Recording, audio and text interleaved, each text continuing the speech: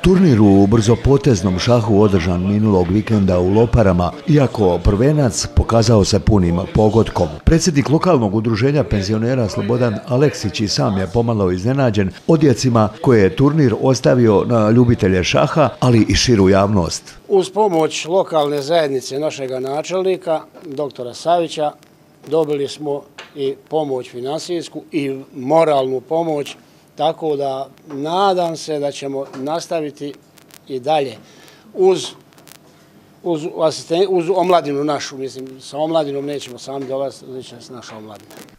Nasuprot prekaljenim zaljubljenicima igre na 64 polja u ovom podmajevičkom naselju sjeli su polaznici novo osnovanog lokalnog omladinskog šahovskog kluba, 16 njih ukupno na 8 šahovskih tabli. Nisu na kraju zaostale ni nagrade za najuspješnije učesnike turnira, ne naročito velike, ali svakako stimulativne za one koji su najviše pokazali. Prva nagrada je 100 maraka, sa peharom, druga nagrada je 80 maraka, treća nagrada je 50 maraka, najbolji omladinac 50 maraka i naj, o, najbolji o, broj partija, najbolja partija 50 maraka.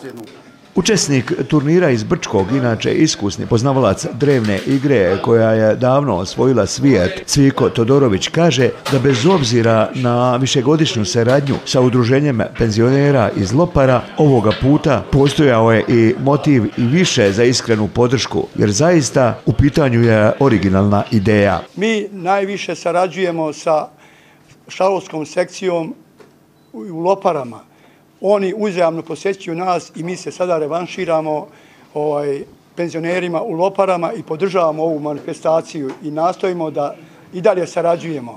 Pored Cvike iz Brčkog su na turnir u Loparama došla još trojica igrača. Načelnik opštine Lopare Rado Savić povukao je prvi potez na turniru i tako ga na simboličan način otvorio. Kaže da će lokalna uprava uvijek podržavati ovakve događaje jer oni to iz više razloga zaslužuju. Pored ostalog, ovo je i promocija opštine u najpozitivnijem smislu, kaže Rado Savić. Zaista mi je drago da sam ovdje danas da vidim jednak broj takmičara koji su maloljetni i penzionera i bit će ovo jedan lijep i zanimljiv dan u Loparama i ja kao načelnik mogu da obećam podršku za organizaciju ovih turnira uvijek kao i za odlazak naših šahista na druge turnire. Također smo da razgovarali danas i za šah na otvorenom, da zajednički nađemo jednu lokaciju u Loparama, da je mapiramo i da napravimo i to i sve druge aktivnosti koje bude udruženje penzionera